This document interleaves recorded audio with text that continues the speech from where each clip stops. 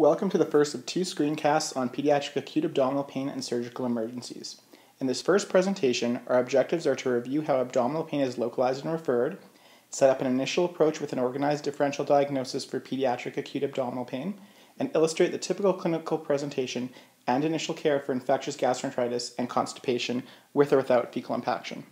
This first part about the localization and nature of abdominal pain should be a refresher. Recall that visceral pain arises from the stimulation of mechanical and chemoreceptors, primarily on visceral mucosa and smooth muscle. Because the afferent nerves in this pathway have fewer endings, are unmyelinated, and enter the spinal cord bilaterally at multiple levels, visceral pain is typically dull, poorly localized, and around the midline. Visceral pain from an affected area of the digestive tract can localize to one of three regions depending on its embryonic derivation. For instance, reflux esophagitis typically presents as epigastric pain in children because the esophagus is a foregut derivative. The foregut derived portion of the GI tract extends from the pharynx to the second part of the duodenum, including the bud from which the liver and pancreas developed. The largest portion of the GI tract is midgut derived and extends from the duodenum at the level of the papilla to the proximal two thirds of the transverse colon. Injury to midgut structures gives rise to periumbilical pain. Last, inflammation of the hindgut derived distal colon and rectum, as seen in ulcerative colitis on the left side, localizes to the suprapubic or hypogastric region. In contrast, somatic pain arises from receptors in the skin, skeletal muscle, and parietal peritoneum. It is carried by afferents that are numerous, myelinated, and transmit signals unilaterally to specific spinal levels, which are represented as dermatomes. It is thus localized, intense, and more likely to be increased with movement. Last, I wanted to touch upon the concept of referred pain, which is when pain is felt distal from its site of origin and results from the convergence of visceral and somatic pathways usually. This may be central or peripheral, such as the example when visceral disease extends to parietal structures or somatic nerves.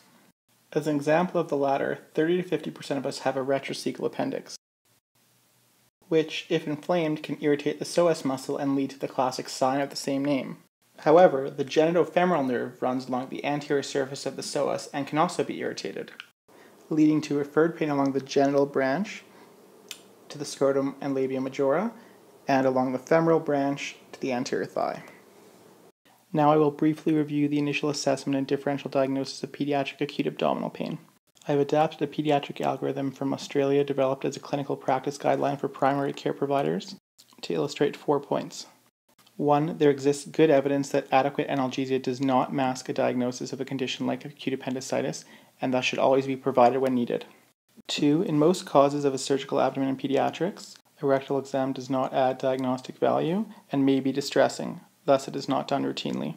However, number three is that perianal and inguinogenital inspection must still be done, particularly in pediatrics when the diagnosis is unclear. Number four, just as in adults, red flags on history of physical suggestive peritonitis warrant an immediate surgical consultation. However, the pediatric algorithm also emphasizes bilious emesis, inguinoscrotal pain or swelling, or palpable abdominal mass, associated with some causes of bowel obstruction that are far more common in pediatrics. Here we have organized the differential diagnosis for acute abdominal pain in pediatrics, with many similarities between adults and peds. However, for one, causes of GI obstruction are very different in pediatrics, and some gastrointestinal inflammatory conditions are more commonly seen in pediatrics. While extra abdominal causes of abdominal pain can be seen at any age, in pediatrics they are more likely to represent the initial presentation of a chronic disease. Last, the ingestion of foreign bodies, toxins, and drugs are more likely to accidentally occur in infants and young children, or intentionally in the case of adolescents. Because the list is long, it is important to know about conditions that vary greatly in incidence with age. However, some important etiologies are common throughout pediatrics. Those related to the gastrointestinal tract include infectious gastroenteritis, functional constipation, appendicitis, and reflux esophagitis. I will now discuss the first two, focusing on clinically relevant information for acute care. Chronic constipation may lead to acute and debilitating abdominal pain, possibly with anorexia or vomiting, and this is especially true when fecal impaction develops. Because over 95% of pediatric constipation is functional, understanding its pathophysiology is needed to manage acute pain and counsel patients and family to prevent recurrences. Children with functional constipation, by definition, have impaired elimination without an underlying pathology. However, there are often reasons why, mostly being related to situational withholding or unpleasant defecation associated with hard or dry stools. Common situations include toilet training, especially when it's coercive and the child isn't developmentally ready, and the start of school, especially when cleaner private toilets are lacking or toilet use is regulated or restricted. And stools are more likely to become dry and small after the introduction of solid food or infant formula, or in children with suboptimal fiber or fluid intake. Any organic cause of constipation can lead to withholding as well, that can persist after you treat the organic cause because of the unpleasant defecation. Regardless of the reason, the end result of withholding is stool retention. Retained stools become harder as more water is reabsorbed, then accumulate as new stool arrives. Unfortunately, a megarectum can form after constant and repetitive stretching, which now requires greater distension before an urge to defecate is generated, and so the retention of large caliber stools becomes beyond one's control. The Rome 3 diagnostic criteria follow from this explanation. They include infrequent stools, hard or painful stools, fecal incontinence, excessive stool retention with associated behaviors and or postures, and finally large caliber stools either evident on a digital rectal examination or by history. In terms of other investigations, while neither a DRE or abdominal x-ray are needed routinely, either can help diagnose fecal impaction in the rectum when it is suspected on history and the abdominal and or the rectal examination is unreliable or refused. Knowledge of whether or not there is fecal impaction does have some diagnostic relevance as you can see here, is one of the criteria, but more importantly, it can help guide management. As fecal impaction is one of the diagnostic criteria for functional constipation, it is clearly not a red flag for a possible underlying pathology. Functional constipation is not technically a diagnosis of exclusion because individualized testing for underlying pathology is only required if there are, alarm features on history or physical, or intractable constipation, defined as continued constipation despite optimal management for more than three months. Irritable bowel syndrome has to be excluded as well. In the setting of fecal impaction, lower maintenance doses of PEG 3350 are often unsuccessful and can actually increase incontinence, as more voluminous and watery stools bypass the impacted stool in the rectum. Fiber, a bulking agent, can worsen the problem if the impaction is not addressed. Thus, a full bowel cleanout is needed.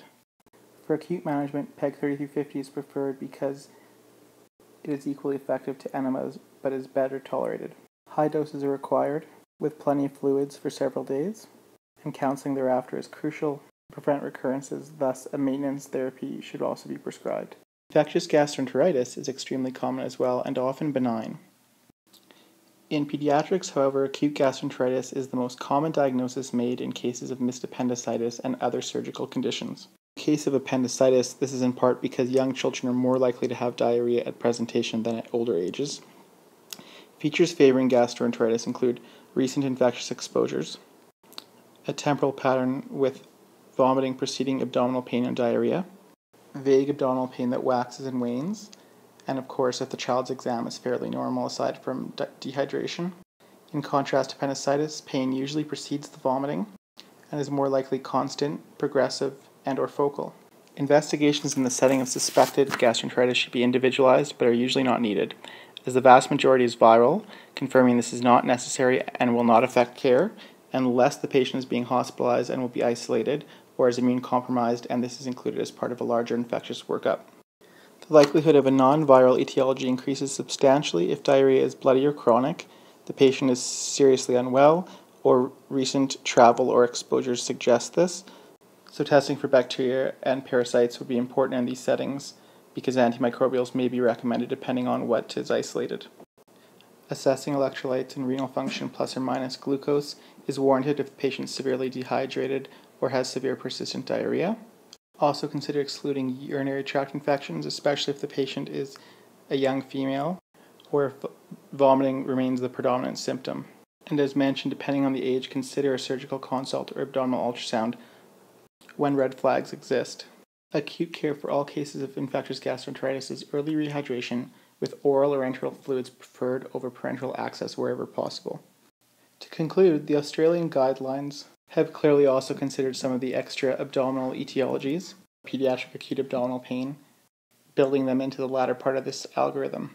In Screencast 2, I will discuss some age specific clinical conditions, including causes of surgical abdomen. Thanks for your time.